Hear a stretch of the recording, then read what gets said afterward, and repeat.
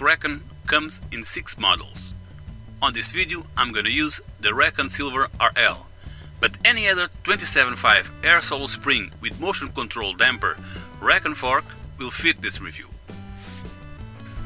The Recon RL comes with 32 cm stanchions made from steel, which will mean more weight but also more stiffness, meaning the stanchions will bring the overall weight of the fork up.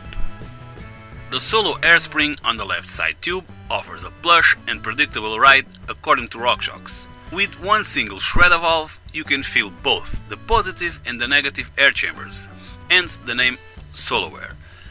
With the help of a small dimple on the inner side of the lowers, both chambers will then equalize by themselves, which means simplicity in less complications.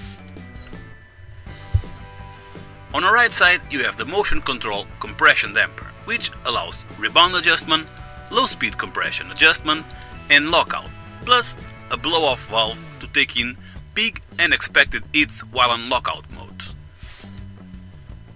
The crown is made from forged 6061 T6 aluminium, while the lower legs are made from magnesium, which is lightweight and stiff. The forks with through axle comes with a tapered aluminium steer tube, while the ones with quick release axle offer a simple straight aluminium steer tube.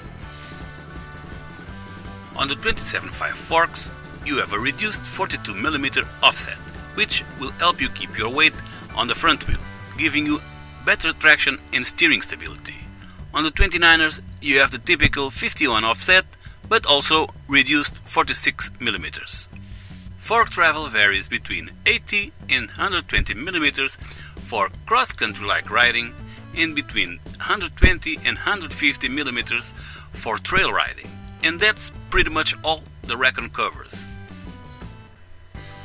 Regarding brakes, it comes with post-mount support, which can take between 160 and 220 mm rotors, although you will most likely not see anything bigger than 200 mm rotors with this fork.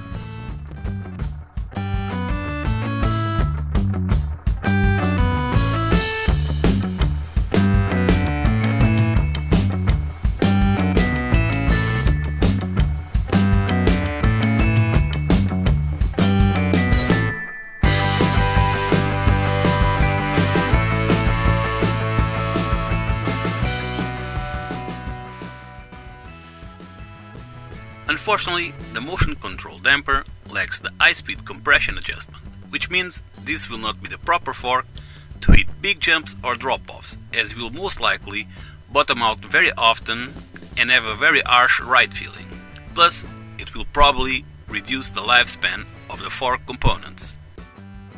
The low compression adjustment was made to be effective on weight shifts during cornering, braking and slow inputs like small to medium bumps on the trail by keeping the suspension relative high allowing also to counteract pedal bobbing.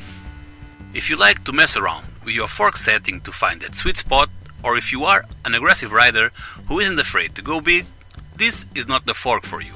If, on the other hand, you are a mellow rider wanting to ride some trails while relaxing, and want simplicity without having to worry too much about your fork settings, then this may be a fork to take into consideration. Bottomless tokens cannot be added to the Recon fork, which means you can't adjust the progressiveness of the fork. And the rebound adjustment knob, being made from plastic, also seems fragile and prone to damage.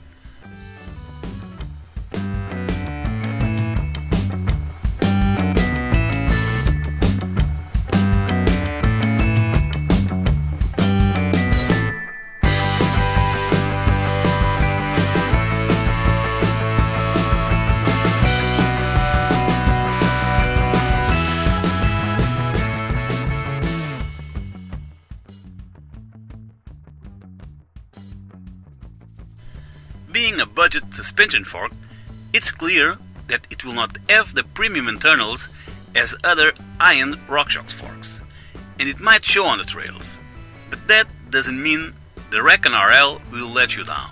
The Recon will do what it's supposed to do, which is to allow you for a smooth ride, and it will do it well, as long as you stay within its capabilities. Don't forget, the Recon model was made for a more cross-country trail ride like riding.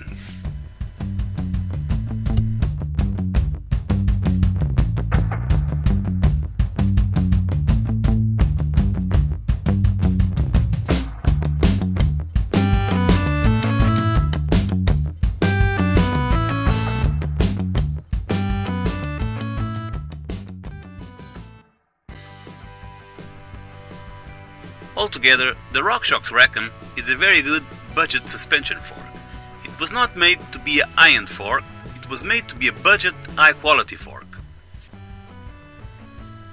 This concludes this review on the RockShox Recon RL. I hope it was helpful and entertaining. If not, just put it on the comment section below. And if you like this video, consider hitting the like button. See you on the next review.